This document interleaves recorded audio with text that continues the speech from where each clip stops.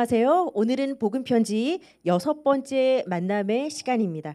아, 오늘 함께 나눌 말씀의 제목은 구원받은 나는 어떻게 변했을까요?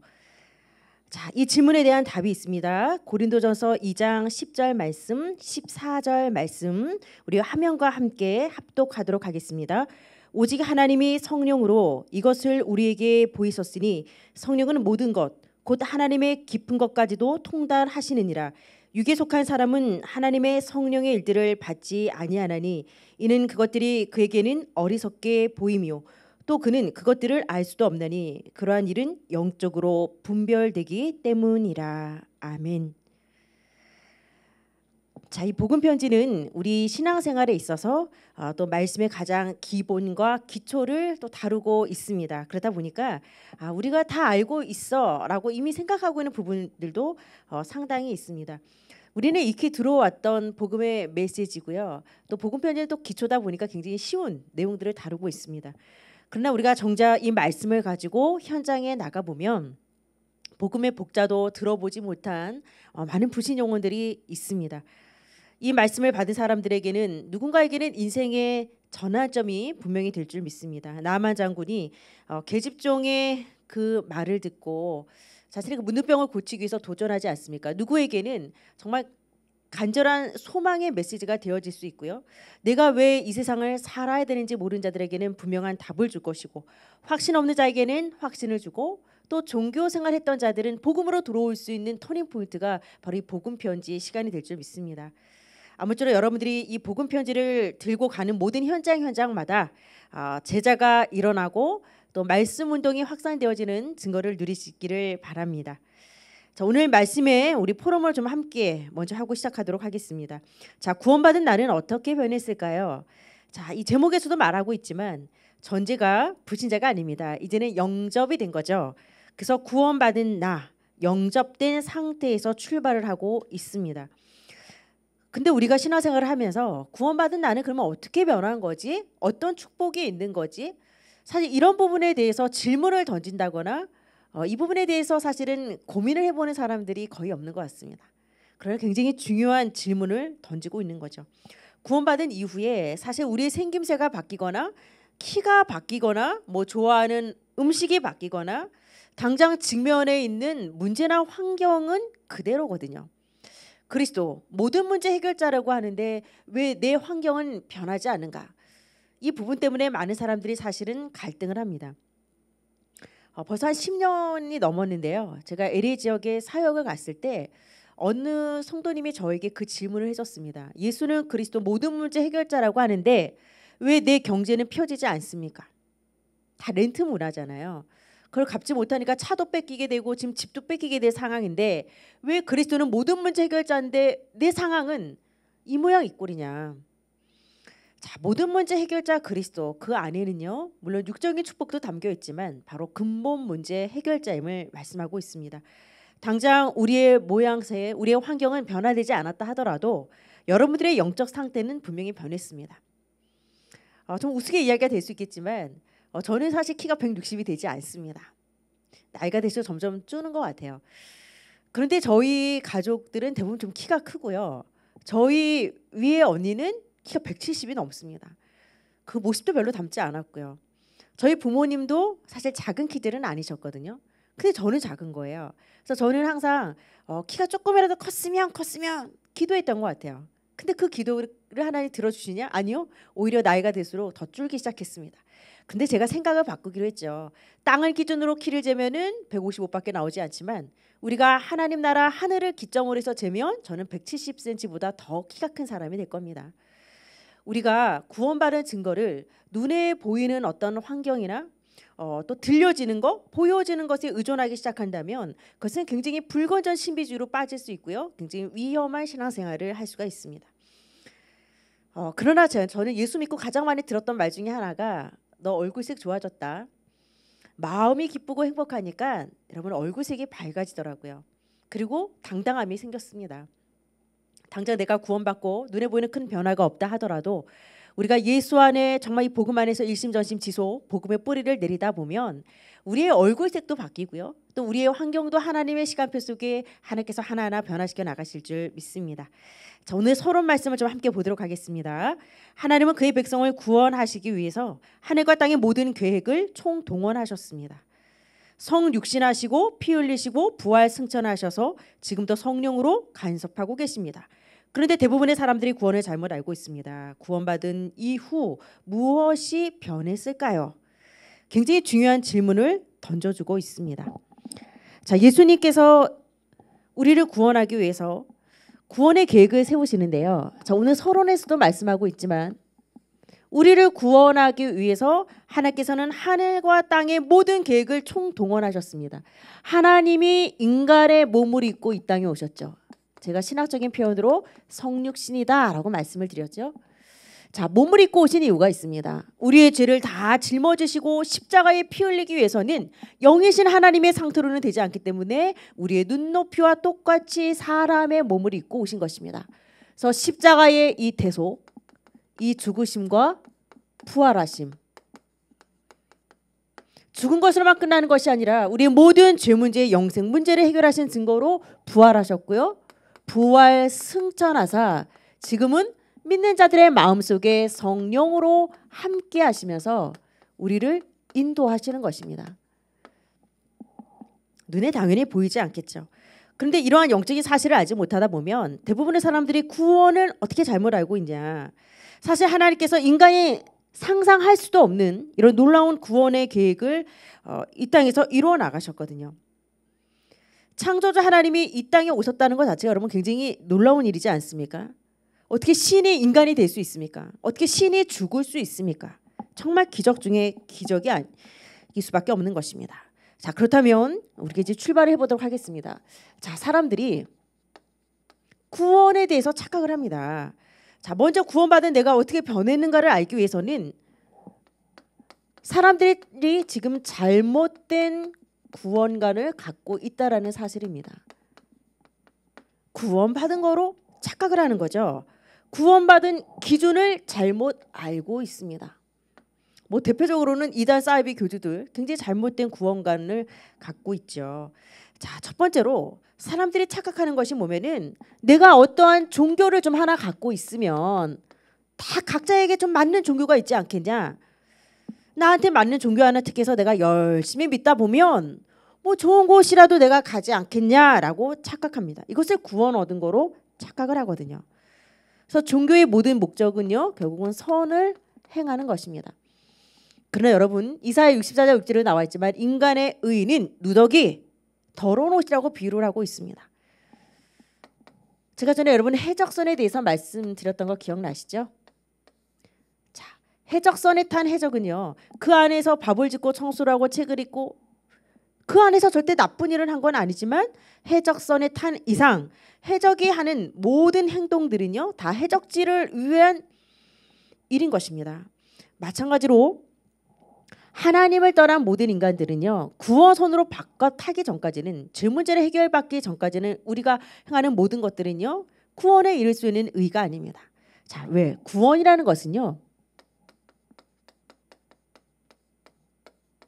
죄 문제 해결이거든요. 죄의 삭은 사망이다. 왜 사람들이 어, 영영한 지옥불에 떨어지냐? 죄 문제 해결받지 못했기 때문이거든요.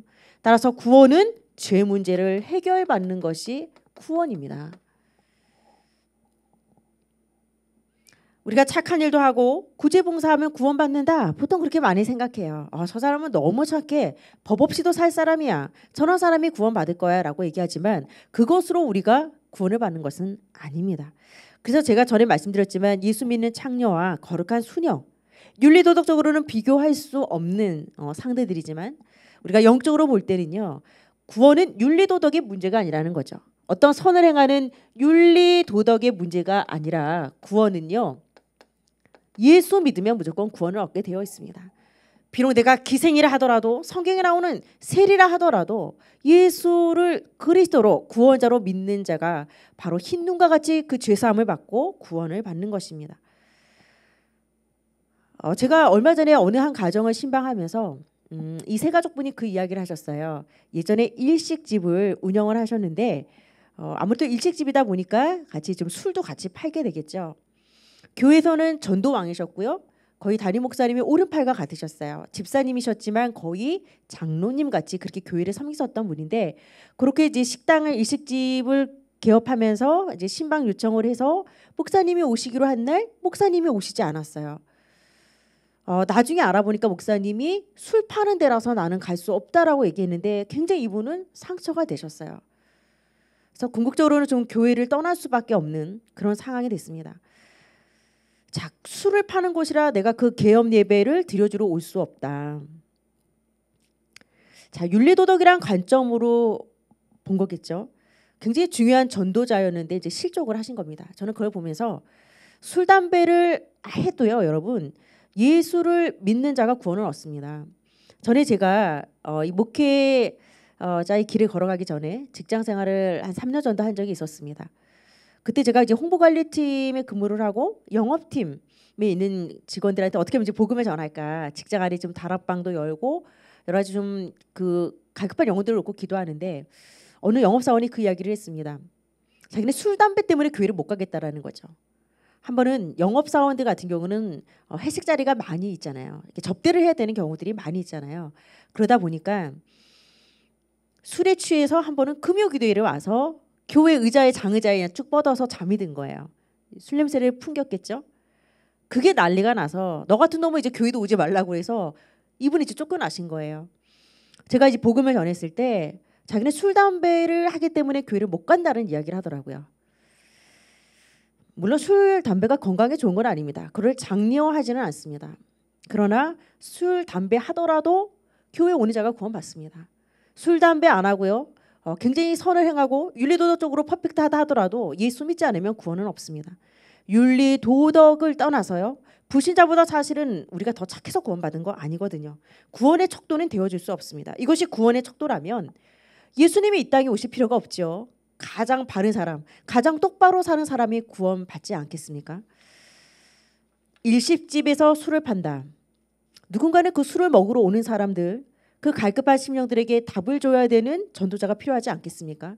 우리가 윤리 도덕의 관점으로 바라보면 절대 생명을 살릴 수 없는 것입니다. 복음은요 모든 것들을 초월하는 능력인 줄 믿습니다.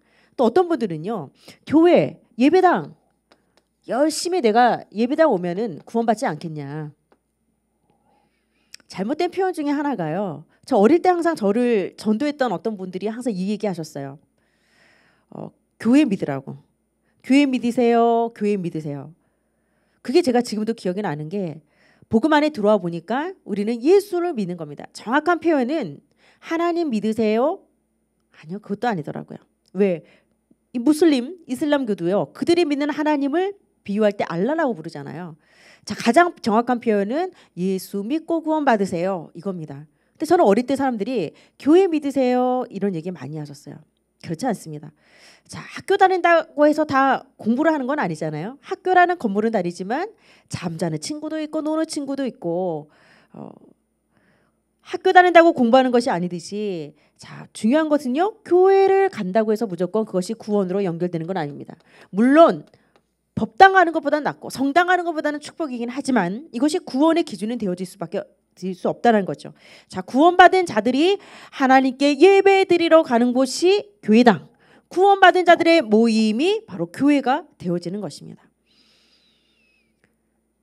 실제로 이 교회당만 열심히 다니다가 모속인 되고 정확한 복음 한번 들어보지 못하다 보니까 결국은 교회 안 다니게 되어지고 우리가 전도 여정에 나가 보면 가장 복음을 대적하고 나도 교회 다녀봤어요. 그러면서 전도 운동을 가장 방해하는 사람들이 누굽니까? 왕년에 나도 교회 다녀봤다라는 사람들. 그런 분들은요. 10년이고 20년이고 교회당이라는 건물을 다닌 거지 사실은 구원받은 것은 아닙니다. 자, 세 번째로 열심을 구원의 척도로 생각하는 사람들이 있습니다. 당연히 복음적인 열심은 필요하죠. 그러나 여러분 방향에 맞지 않은 열심은요 오히려 굉장히 어, 이 복음을 와해시키죠. 바리새인들의 열심, 풀공 드리는 사람들의 열심, 무속인들의 열심을 보십시오. 산기도 다니고 새벽에 기도하고 자 중요한 거는 방향이 맞는 열심인가라는 것입니다. 전에 세 가족 우리 10주 훈련반이라고 있었습니다. 그때 담임 목사님께서 세 가족들을 놓고 이제 좋은 말씀해 주시고 팀사해 주시면서 세 가족들이 열이면 열이면 다 은혜 받고 나서 하시는 말씀들이 똑같았어요. 목사님, 지금부터 제가 열심히 믿어 볼랍니다. 그 담임 목사님께서 웃으시면서 늘 말씀하셨어요. 우리 예원교회는 열심히 다니는 교회 아닙니다. 여러분들 신앙생활 하면서 열심이라는 단어를 지우세요. 누리세요.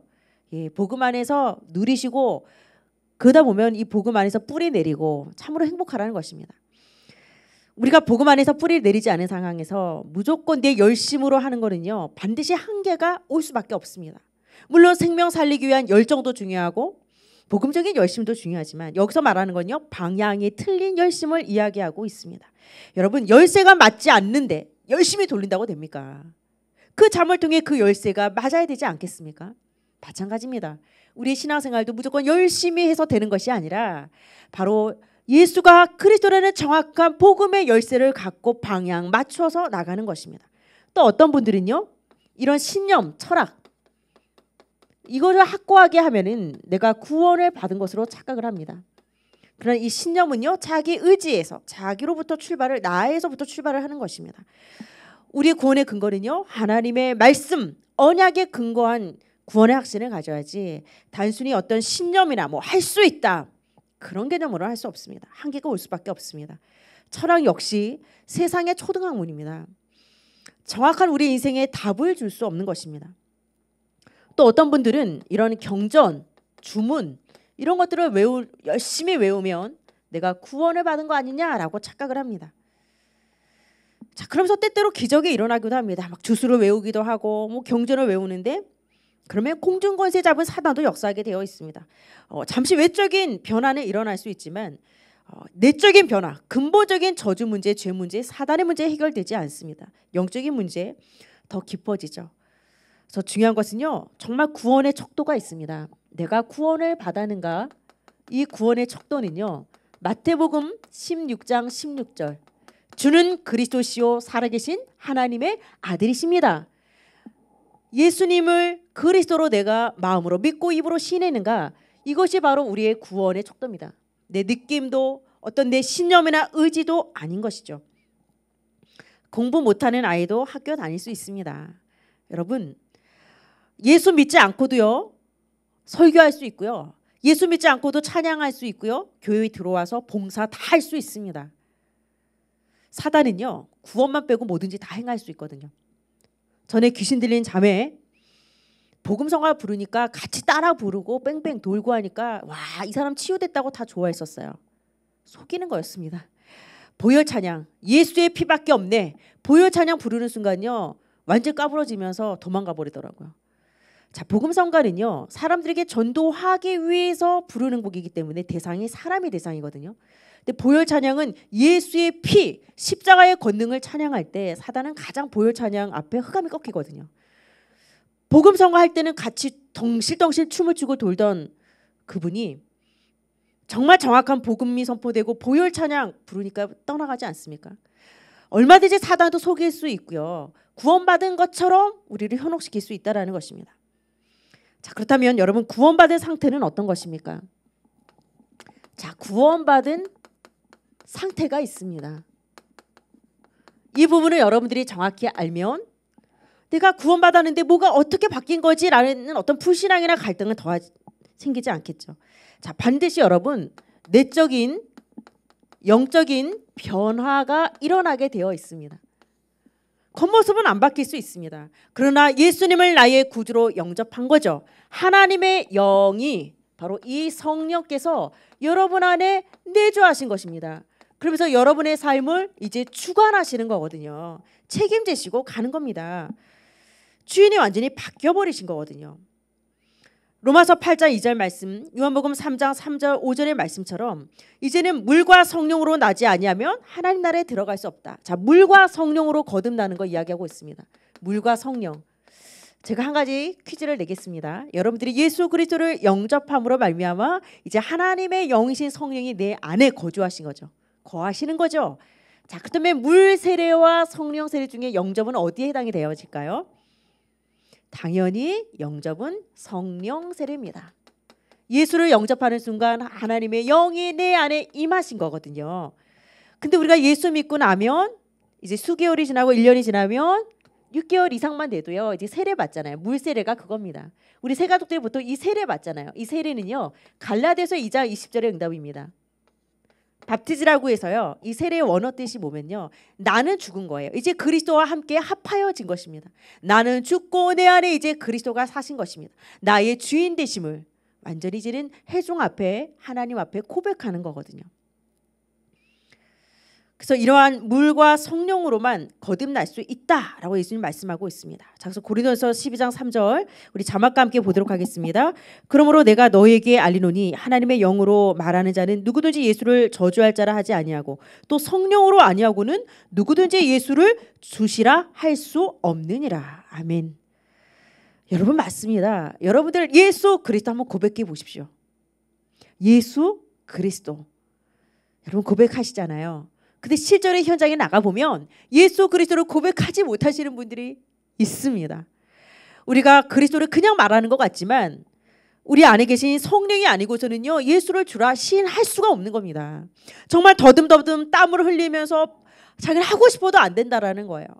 완전히 그 귀신이 자기 혀를 딱 붙잡고요 몸부림을 둬도 안 나오는 것입니다. 우리가 그리스도를 영접하는 거 여러분의 의지가 아닙니다. 하나님이 택정하셨고요. 성령의 역사가 아니고서는 여러분 불가능한 것입니다. 그래서 우리가 영접 기도할 때 제일 먼저 뭐라고 고백하죠? 하나님 아버지, 나는 죄인입니다. 저는 이것이 정말 중요하다고 생각합니다. 영접을 빨리 하는 것이 중요한 것이 아니라 내가 하나님을 떠난 죄인이었음을 고백하는 것이 얼마나 중요한지 모릅니다. 죄가 뭐죠? 하나 내가 하나님을 믿지 않았던 거. 내가 하나님이 없다고 우상 숭배하고 내 실력과 힘으로 살겠다고 했던 내 교만한 거. 하나님 부인했던 거. 이게 바로 다 죄이지 않습니까? 그 죄를 고백하는 겁니다. 근데 이것 또한 깨닫게 하시는 이도 성령님이 하시는 겁니다. 그렇지 않고서는 자신이 죄인이라고 고백할 수 없거든요. 여러분들이 정말 이 복음을 듣고 예수를 믿고 또 이렇게 훈련의 자리에 나와서 말씀을 듣는다. 성령의 인도가 아니고서는 성령의 사람이 아니고서는 절대로 이 말씀을 들을 수 없는 것입니다. 자, 요한복음 14장 16절에서 17절 말씀 또 보도록 하겠습니다. 내가 아버지께 구하겠으니 그가 또 다른 보혜사를 너희에게 주사 영원토록 너희와 함께 있게 하리니 그는 진리의 영이라 세상은 능히 그를 받지 못하나니 이는 그를 보지도 못하고 알지도 못함이라 그러나 너희는 그를 아나니 그는 너희와 함께 거하시며 또 너희 속에 계시겠음이라 아멘. 우리 안에 함께 내주하신 성령, 진리의 영이신 성령은요. 누구도 그 성령을 쫓아낼 수 없고요. 그 성령은 우리를 떠나지 않습니다. 여러분 박사들이 과학자들이 의사들이 지식이 부족합니까? 학벌로 따지면 우리가 비교할 수 없죠. 그러나 박사라고 해서 여러분 영적인 이야기를 알아들을 수 있는 건 아닙니다. 박 박사라 하더라도 이 영적인 이야기를 못 알아듣습니다. 제가 저번에 말씀드렸잖아요. 세 가족 중에 한 분이 전 똑같이 한국말을 하는데 목사님이 외국어 하는 것 같다고 하나도 못 알아듣겠다는 겁니다. 그럼 그분이 못 배웠냐? 아니요. 세상의 최고 학문을 배웠음에도 불구하고 왜? 그분이 학문이 부족해서 못 알아듣는 것이 아닙니다. 그 안에 성령이 계셔야만 말씀이 깨달아지는 것입니다. 자, 무당이 귀신의 영을 받죠. 그래서 무속인의 길을 가지 않습니까? 물론 그 귀신의 영과 비교할 수 없지만 우리는 하나님의 영을 받은 겁니다. 그래서 성령께서 여러분 안에요. 내주하십니다. 내주하신다는 건요. 내 안에서 이제 들어와서 주인이 되어 주신다는 것입니다.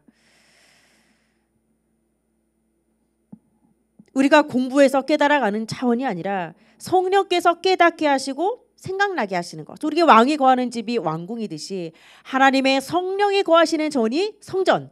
여러분들이 바로 걸어다니는 하나님의 성전이 되어지는 것입니다. 자, 그런 의미에서 고린도서 3장 16절 말씀 함께 보겠습니다. 너희는 너희가 하나님의 성전인 것과 하나님의 성령이 너희 안에 계시는 것을 알지 못하느냐. 아멘. 자, 그렇다면은 이 성령께서는 내 안에 졸고 계시는 분이 아니죠. 이 성령께서 하시는 성령의 사역들이 있습니다. 자, 이 성령께서는 어떠한 일을 하시냐? 성령께서는요. 친히 우리의 잘못된 것도 고쳐주시고 세상에 줄 수 없는 절대 평안을 주시고요. 우리의 기도를 들어주시고 또 내가 정작 준비하지는 않았지만 정말 복음을 전할 대상자를 딱 만났을 때 그 시간에 하나님이 번뜩 생각나게 하시는 말씀이 있어요. 나는 무심히 던진 말인데 그 말이 그 사람에게는 인생의 해답이 되어지는 것입니다. 그건 내가 아니거든요. 어, 저도 이제 목회자의 길을 걸으면서 설교할 때 그걸 잘 많이 느낍니다.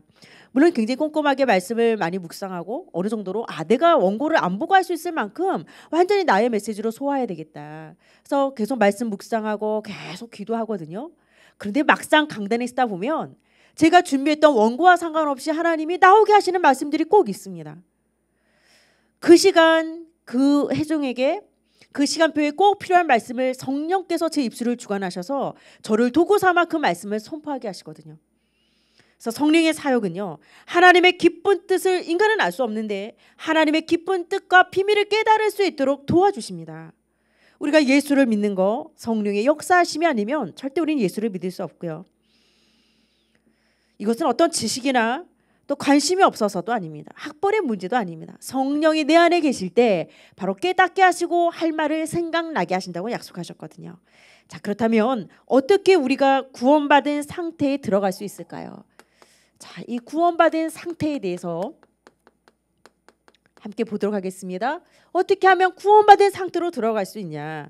자, 여러분 뭐니 뭐니 해도요. 예수 안에 거해야 됩니다. 예수 안에 예수 안에 거한다는 것이 보면 예수 생명이 우리 안에 있어야 됩니다. 아무리 열심히 코드 꼽아도요. 아무리 내가 TV 리모컨을 눌러도 코드 안 꼽으면 소용없는 것처럼 하나님과 내가 연결되어져야 되지 않겠습니까? 예수 생명이 내 안에 임하여 된다는 것입니다. 어, 문득 지금 생각나는 것이 어떤 한 재미있는 예화이긴 한데요. 음, 한평생 굉장히 열심히 또 신앙생활을 잘 해왔던 분이 이제 천국문 앞에 딱 섰는데 천국문이 열리지 않은 겁니다. 근데 천사가 뭐라고 얘기하면 선생님 어, 천 점을 얻어야만 천국문을 열어줄 수 있다라는 거예요. 그러니까 이분이 이제 얘기를 쭉 하는 거죠. 저는 어, 일평생 살아오면서 어, 주의 성수를 늘 해왔습니다. 한 번도 예배 빠진 적 없습니다. 아 그렇습니까? 어, 굉장히 훌륭하시군요. 1점을 드리겠습니다. 그럼 999점을 또 얻어야 되잖아요. 저는 제 자녀들을 선교사로 목사로 키웠습니다. 아 그렇습니까? 그럼 또 1점을 드리겠습니다. 그렇게 해서 가도 가도 5점밖에 안 되는 거예요. 그러니까 이 분이 어떻게 했냐? 오 주 예수여 나는 내 힘으로는 할 수 없습니다. 도와주소서. 그러니까 이 천사가 딩동딩동 하면서 그 천국문을 열어줬다는 예와 제가 렘넌트 사역을 하면서 이야기를 우리 렘넌트에게 들려준 적이 있습니다. 뭘 의미하죠, 여러분? 물론 우리는 이 땅에 사는 동안 이미 천국 티켓을 따고 간 거죠. 이 예화는요. 우리의 공로, 우리의 의로 구원받는 것이 아닙니다. 나의 철저한 한계와 무능을 나의 실패를 주님 앞에 고백할 때 그래서 나는 주님만이 필요한 존재임을 고백할 때 구원받을 수 있다는 거죠. 우리의 행위를 다 합쳐서 어떻게 구원을 받을 수 있겠습니까?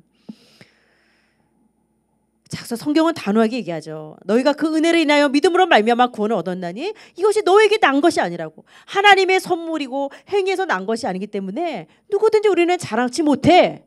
에베소 2장 8, 9절에 분명히 말씀하고 있지 않습니까? 그래서 어떻게 구원 상태에 들어갈 수 있냐? 예수 생명을 얻는 것입니다. 예수 생명이 내 속에 있고 아까 제가 서두에 말씀드린 대로 물과 성령으로 거듭나는 거.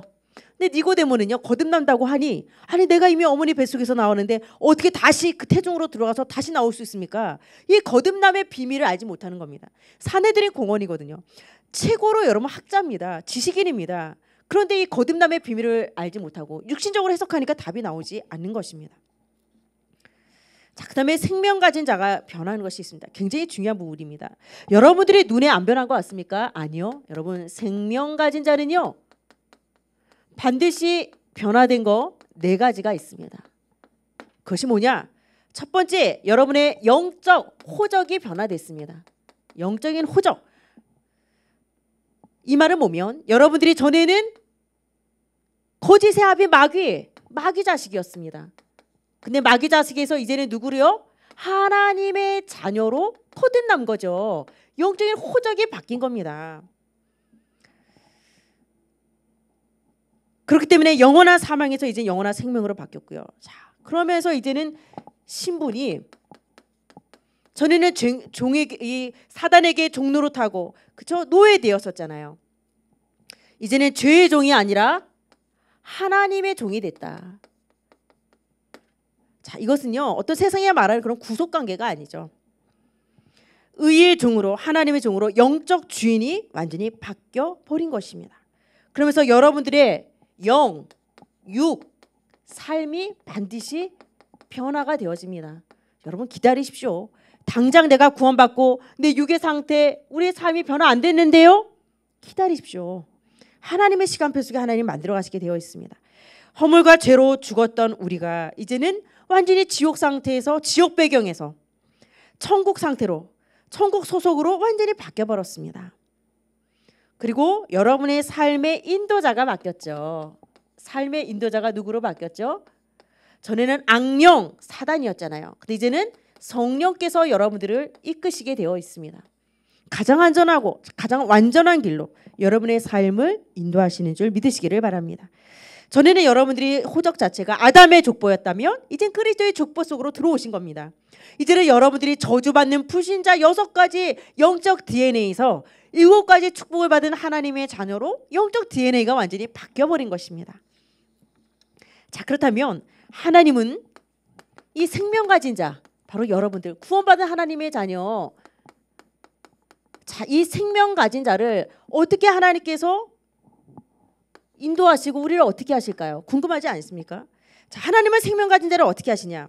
끝까지 버리지 않고 우리를 성화 거룩하게 날마다 우리를 변화시켜서 이끌어 가신다라는 사실입니다. 끝까지 버리지 않습니다. 여러분 이 무속인들 돌아오신 분들 간증을 듣다 보면 무속인들 이 귀신의 세계의 특징은요 버립니다. 그래서 처음에는 써요. 그러나 정말 점점 영빨 떨어지고 병들면 처절하게 버려버립니다. 그러나 하나님은 우리를 버리지 않죠. 어, 실제로 그 무당들의 대부라고 불렸던 어, 어느 목사님이 계세요. 인터넷에도 검색하면 나오는데 이분이 찰리 김이라고 해서 이 미용실을 운영을 하시다가 어느 날 갑자기 영적 문제가 오고 산으로 올라가서 돌을 닦고 내려와서 어, 결국은 그 무당 대학을 세우죠. 무당 대학을 세우면서 이 무당 세계에서는 거의 대부로 떠올랐던 분인데 그러면서 이분이 이, 이 무속인의 길을 쭉 가고 귀신을 섬겼죠. 근데 어느 날 신당에 구렁이가 하나 나타났는데 암만 기도해도 이 구렁이가 없어지지 않는 거예요. 그러면서 하나님의 음성을 바로 들었습니다. 담의 세계에서 정말 이 예수 그리스도를 만난 사도 바울처럼 그러면서 그 음성이 뭐였으면 나는 너를 사랑한다. 너는 모든 우상을 버리고 나에게 돌아오라. 그러고 바로 그냥 무릎을 꿇어 버리셨어요. 그냥 성령께서 전도하신 거예요. 이분이 뭐라고 얘기하셨으면 귀신의 세계에서 한 번도 사랑한다는 말을 들어본 적이 없다는 거예요. 그 길을 안 가면 내 몸이 아프고 그 길을 안 가면 내 자식들 가족들이 고통당하기 때문에 그 길을 간 건데 사랑한다라는 거에 그냥 무릎을 꿇어 버리신 겁니다. 우리를 한번 택정하신 하나님은 절대 우리를 버리지 아니하시죠. 끝까지 우리를 과거, 현재, 미래를 넘어 영원까지 책임지시고 우리를 인도해 주신다라는 사실입니다. 그래서 아무도 생명 가진 자를 여러분 멸망시킬 수 없습니다. 여러분 당당하시기 바랍니다. 그 무엇도 우리를 그리스도 예수 안에 는 하나님의 사랑에서 끊을 수 있습니까? 끊을 수 없습니다. 한 번 하나님 자녀는 영원한 하나님의 자녀가 되는 겁니다. 그래서 사람들이 그 얘기하죠. 야, 그 요한에서 2장 15절에 이 세상이나 세상에 있는 것들을 사랑치 말라. 오, 이래서 나는 예수 못 믿어. 자, 이 세상에 있는 것들을 사랑치 말라고? 그럼 예수 믿으면 내가 이 세상과 단절해서 살아야 되는 거 아니야? 이거는요, 세상과 단절돼서 살라는 것이 아닙니다. 세상을 하나님보다 더 사랑하지 말라는 거죠. 우리에게 주어진 이 세상의 삶이 있습니다. 우리는 이걸요 게을리해서는 안 됩니다. 더 성실해야 되고요, 더 부지런해야 됩니다. 그리고 세상에서 빛과 소금에 영향력을 줄 수 있는 삶을 분명히 우리는 살아야 됩니다. 이거는 세상과의 단절을 이야기하는 자원이 아니거든요. 그러나 많은 기독신자들이 빛과 소금의 사명을 감당하지 못하는 겁니다. 교회라는 울타리를 벗어나는 순간 정말 사자처럼 용맹스러운 것이 아니라 그냥 강아지처럼 변해버리고요. 빛과 소금이 아니라 그냥 달콤하게 살기만을 원하는 것입니다. 우리는 세상으로 나아가야 됩니다. 내가 불신자 여섯 가지 상태에서 빠져나왔기 때문에 이제는 그 불신자 여섯 가지 현장 속으로 다시 역파송돼서 그 현장을 살이 하나님 원하실 줄 믿습니다. 여섯 번째로 우리 치유 이 부분을 보도록 하겠습니다. 여러분 이 마약, 이 약물 실제로 여러분 이 마약 중독자들을 제가 이렇게 만나서 상담 공부하면서 만난 적이 있는데요. 이분들이 뭐라고 얘기하면요. 몸의 피를 몇 번을 바꿔도 안 된다는 거예요. 몸의 피를, 피를 몇 번을 바꿔도요. 마약 중독에 있는 분들은요. 회복이 안 되는 겁니다. 그래서 중독이 무서운 겁니다. 우리가 어릴 때 혹시 부모를 잃어버린 기억이 있습니까?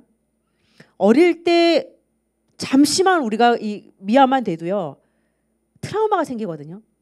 제가 아는 이 집사님도 어릴 때 거의 일주일에서 열흘 정도 어머니 시장 가니까 뒤따라 나갔다가 길을 잃어버렸어요. 그러니까 어머니 딸이 따라오는 줄을 몰랐던 거죠. 근데 이, 이 집사님이 어렸을 때 한 열흘 만에 돌아왔어요. 지금으로 치면은 돌아올 거라고 상상 못 할 거예요. 굉장히 지금은 더 험한 세상이니까 나중에 보니까 술집 아가씨가 데리고 간 거예요. 귀엽고 예쁘니까 데리고 간 거예요. 그 열흘 동안 데리고 있었어요. 근데 이 아이가 열흘 만에 왔는데 뭐 하는지 아세요? 엄마 립스틱으로요. 빨갛게 입술 바르고 있는 거예요. 왜? 그 술집 언니랑 있으면서 열흘 동안 이거 배운 거예요. 여러분 우리가 잠시 부모를 잊어버렸던 기억도 트라우마로 남고요.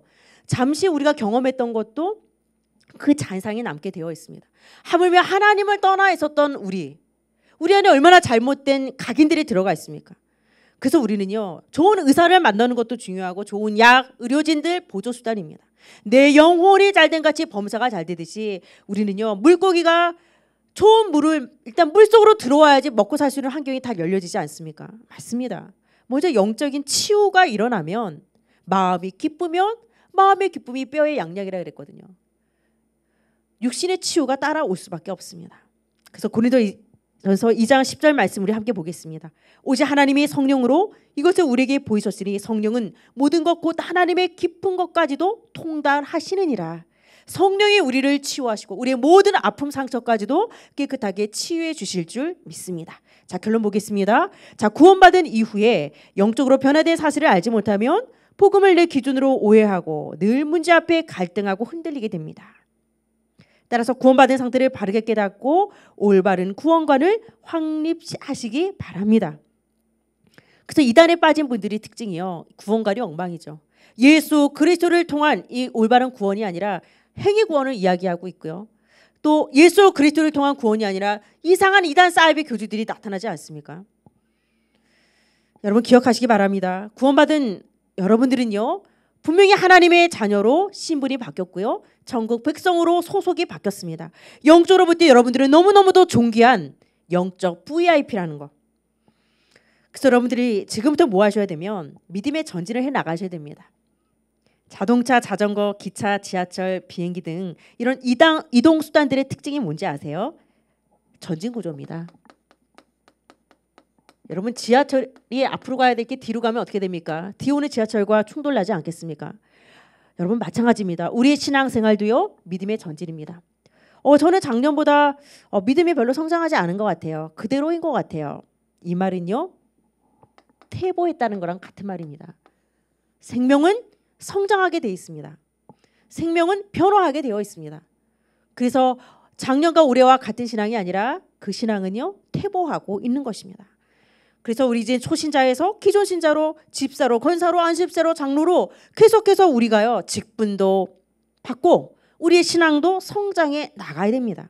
그러기 위해서는 여러분께서 정말 그리스도 안에서 이 참된 생명력을 누리시고 정말 이 복음의 안에서 날마다 각인 뿌리 체질이 일어나시기를 바랍니다.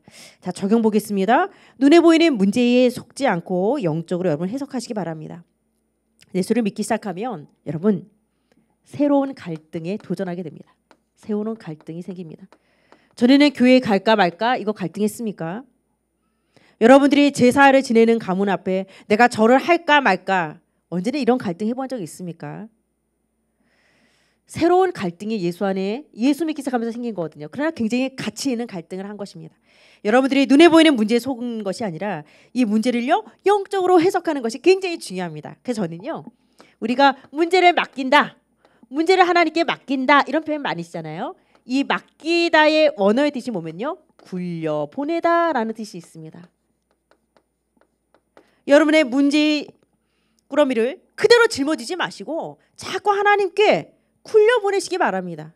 하나님 나는 할 수 없기 때문에 오늘도 나는 하나님께 맡깁니다. 계속 굴려 보내세요. 작서 구원받은 여러분들은 하나님의 자녀고 여러분들이 하나님의 영이 거하시는 성전이기 때문에 제가 영적인 공식 하나 말씀드리고 마치도록 하겠습니다. 예배 성공, 인생 성공. 예배 실패, 인생 실패. 요거 기억하셔야 됩니다. 여러분은 진짜 성공하기를 원하시죠? 그러면 예배자로 쓰시기를 바랍니다. 내가 성공한 다음에 예배 드리러 올 거야? 절대 그런 분들은 성공할 일도 없고요. 예배 드리러 오지도 않습니다. 내 영혼이 잘됨 같이 범사가 잘 되기 때문에 여러분들이 먼저 이 성공의 키를 딱 붙잡으시고 또 하나님 앞에 온전한 예배자로 쓰시기를 바랍니다. 자, 우리 밑에 기도문 같이 읽고 또 마치도록 하겠습니다. 하나님 아버지, 예수님을 나의 그리스도로 영접하는 순간 눈에 보이지 않지만 영적인 변화가 일어났음을 믿게 하옵소서. 올바른 구원관이 뿌리 내리며 예배와 훈련을 통해 믿음이 성장하게 하옵소서. 이 모든 말씀 나를 구원하신 예수 그리스도의 이름으로 기도 올리옵나이다. 아멘. 자, 마지막으로 우리 여섯 번째 만남의 핵심 포인트 한번 보도록 하겠습니다. 함께 말씀을 정리하는 시간이죠. 자, 잘못된 구원가는 무엇입니까? 종교를 가지는 거, 예배당에 열심히 등록해서 다니는 거, 열심히 뭔가 믿어보는 거, 내 신념, 철학, 경전, 주문 아닙니다. 정확한 구원가는요. 그럼 올바른 구원가는 무엇이냐? 내적인 변화죠. 이제 성령이 여러분 안에 내주하시고 여러분의 인생을 주관하시게 되어 있습니다. 물과 성령으로 나지 아니하면 하나님 나라에 들어갈 수 없고요. 진리의 영이신 성령은 여러분 안에서 영원토록 떠나지 않으십니다. 그래서 여러분 구원의 속도는 예수를 그리스도로 고백하는 그 믿음 위의 구원을 얻는 것입니다. 자, 세 번째로 성령께서 하시는 일은 무엇입니까? 잘못된 것을 고쳐 주시고요. 세상에 줄 수 없는 참 평안을 우리에게 주시고요. 또 우리의 기도를 들어주시고 모든 문제까지도 합력하여 선을 이루어 가십니다. 이 성령께서 지금 여러분 안에 함께 하시는 줄 믿으시기 바랍니다. 자, 마지막으로 구원받은 이후에 무엇이 변화되었습니까? 영적인 호적이 또 여러분의 신분이 또 여러분의 영육의 상태가 나의 삶의 인도자가 변화되었습니다. 이제는 마귀자 시간입니다. 하나님의 자녀가 되셨고요. 영원한 사망에서 영원한 생명으로 옮김을 받으셨습니다. 그래서 어, 특별히 여섯 번째 만남 어, 나는 구원받은 나는 어떻게 변했을까요? 이 부분에 여러분들이 오늘 강의를 통해서 정말 언약적 복음적, 복음적인 답을 얻고 말씀 가운데 넉넉히 승리해 나가시기를 주님의 이름으로 축복합니다.